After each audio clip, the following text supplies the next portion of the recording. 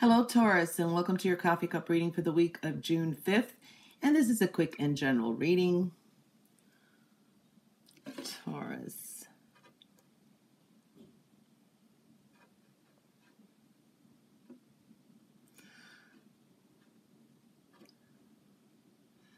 Beautiful energy when it comes to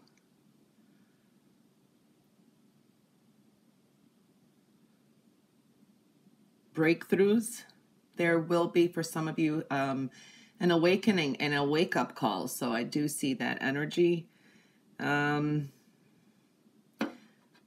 more certainty.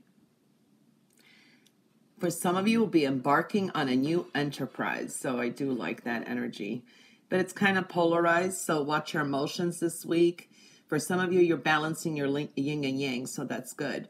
There is some sadness here and negativity. Some of you may be dealing with some kind of loss um, and grief, so that is um, showing up. For others, this is just um, negative thinking, so you kind of bring yourself down because you have more of a balance this week. You know, it's your yin and yang should be balanced for most of you. So I'm seeing that energy there.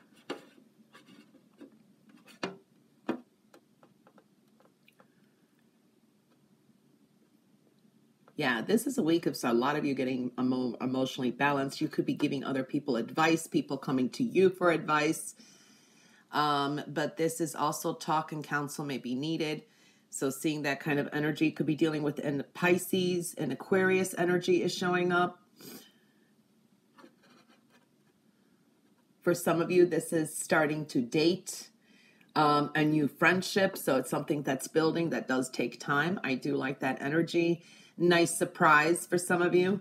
I do see wish fulfillment, but it does come with a delay. Okay, delving into prayer. And this is spir- spiritually being fortunate. So I do like that energy.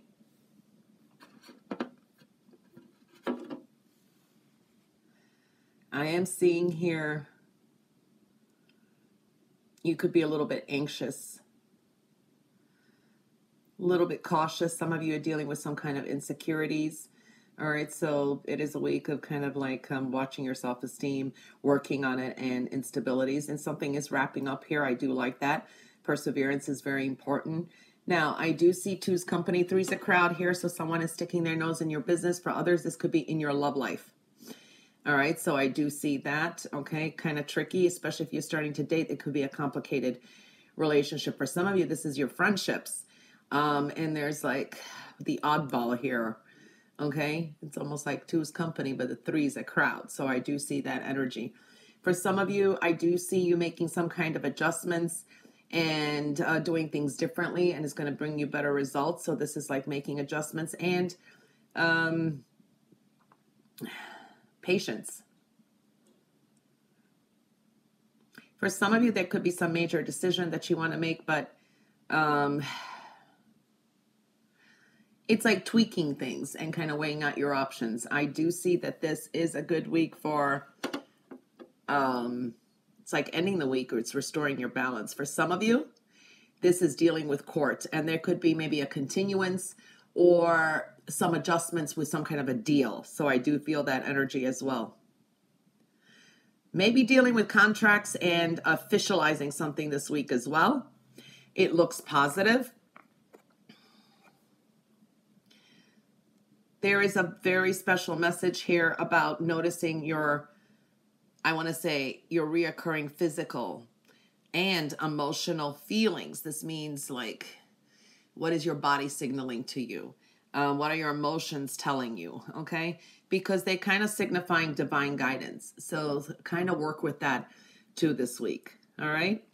So a lot of talk, counsel, um, communications is definitely showing up here. They could be someone who could be very helpful and very understanding this week too. All right, so I do see that um, energy as well.